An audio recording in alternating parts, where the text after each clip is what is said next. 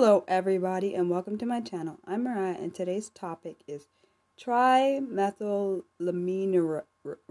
I'm sorry if that's pronounced if it's pronounced wrong, and the um and the abbreviation for it is TMAU, and I'm probably gonna I'm definitely going to refer to the abbreviation over the actual term because the term is a lot harder for me to pronounce.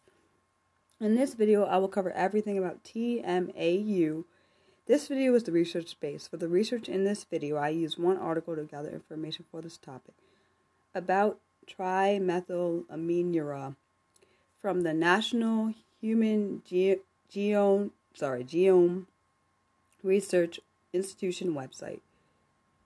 TMAU is a metabolic condition in which an individual is not able to convert trimethylamine into a compound called trimethylamine N oxoid. TMAU has been around for centuries, but has only gained scientific recognition and support in the past 30 years. What is trimethylamine? Trimethylamine is a compound that gives fish the fishy odor. Trimethylamine N oxoid, I'm sorry if I said that wrong, does not smell. The symptoms of trimethylaminuria or TMAU. Trimethylamine builds up in the body of patients with TMAU.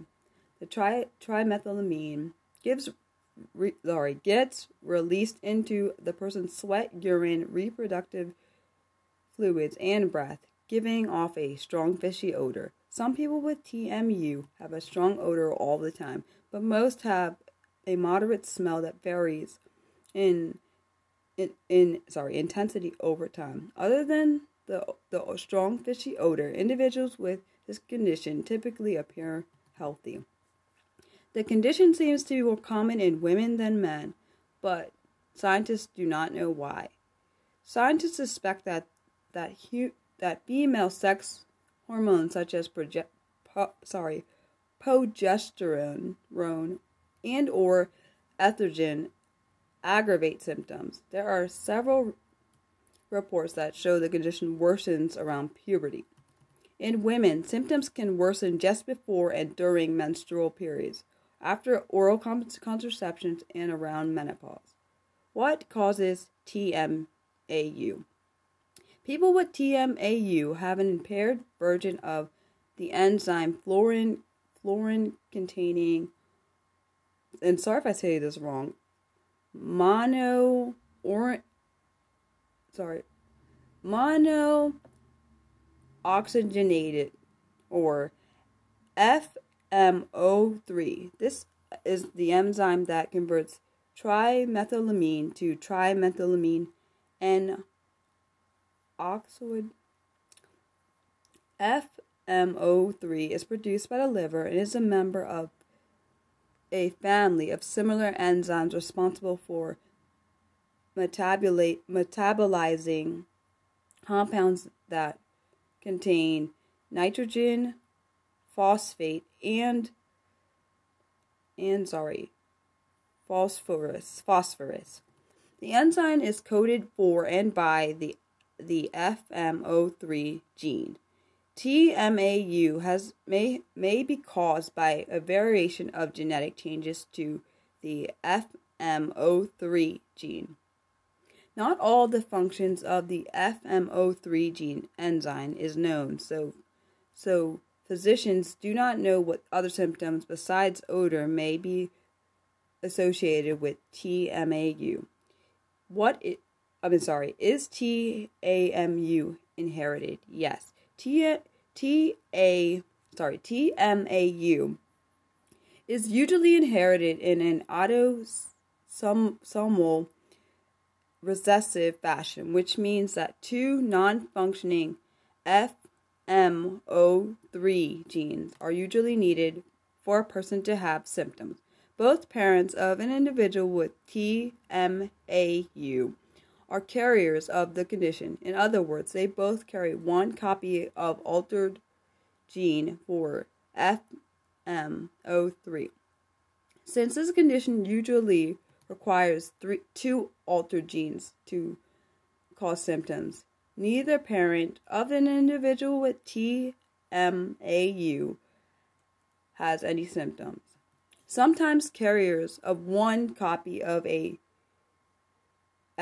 FMO3 mutation may have mild symptoms of TMAU or have temporary episodes of fishy like odor.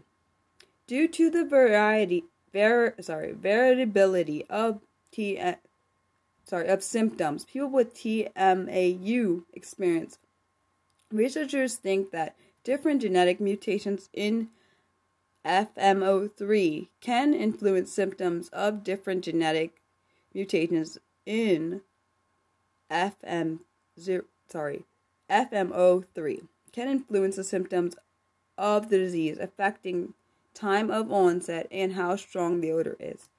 They also suspect that stress and diet play a role in triggering symptoms. How is TMAU diagnosed? A urine test is used to diagnose TA, TMAU. The person's urine is tested to look for higher levels of TMAU.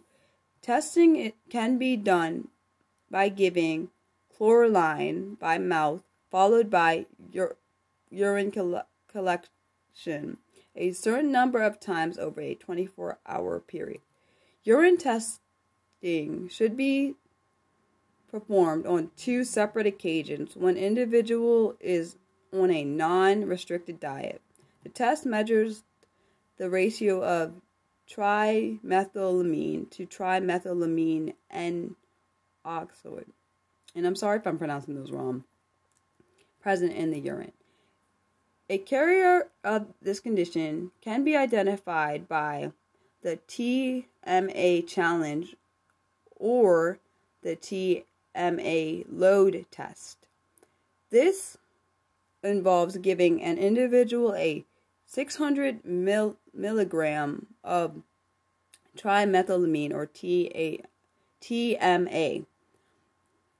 Carriers of TMAU ex- excrete 20 to 30 percent of total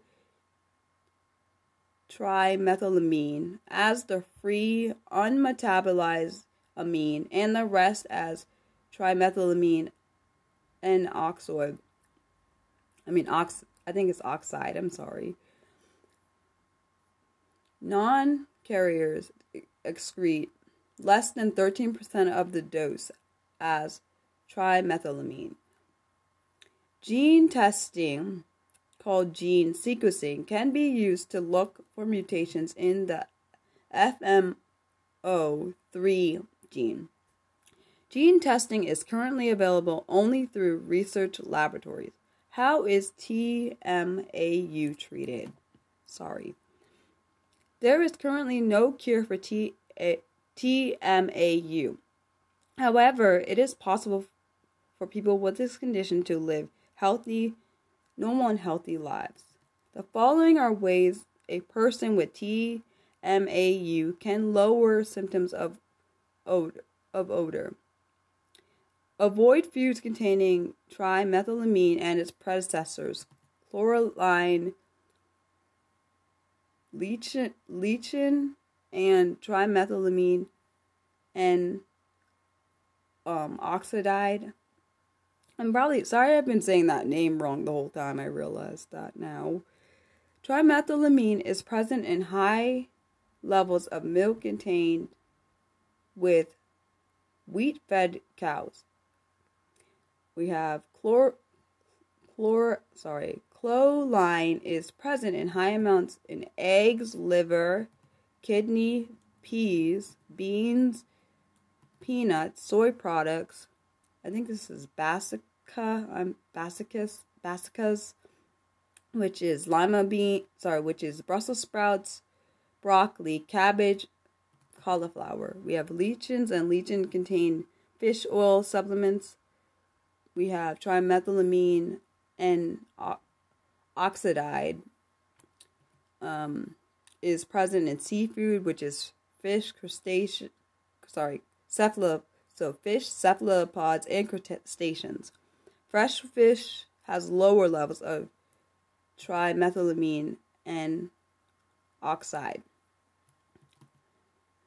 Taking low doses of antibiotics to reduce the amount of bacteria in the gut. This suppresses the production of trimethylamine. Taking laxatives can reduce the intest- intestinal um, transit time and reduce the amount of trimethylamine produced in the gut. Taking supplements to reduce the concentration of free trimethylamine in the urine. Activated charcoal taken at a dose of 750 milligrams twice daily for 10 days. We have copper, clothilin, I don't know if that's right, taken at a dose of 60 milligrams three times a day after meals for three weeks using soaps with the moderate pH between 5.5 and 6.5.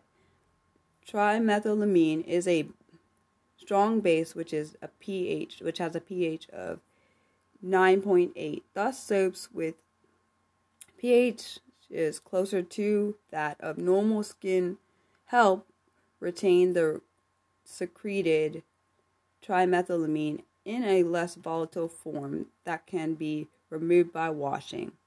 Taking riboflavin or um, vitamin B2 supplements to enhance and a residual FMO3 enzyme activity. Re- recommended intake is 30 to 40 milligrams taken 3 to five times per day with food. Avoiding factors that, that produce sweating, such as exercise, stress, and emotional upsets. It is important that a person who has TMAU to follow treatment advice of their healthcare provider. They should not administer, sorry, attempt to self administer. Unfortunately, at the time, enzyme at this time enzyme replacement therapy with enzyme FM FMO3 which when absent is to believe to cause the condition is not an option in treatment of sorry sorry not an option in management of TMAU. I hope you enjoyed this video. First, I'm sorry for all the mistakes I made, but when I'm doing medical, like kind of medical terms, it's a lot harder for me to pronounce. Um, and I'm sorry for that. But I will, I don't take my vid- my mistakes out of these videos because I want you to see I, even though it is hard for me, I still try my best.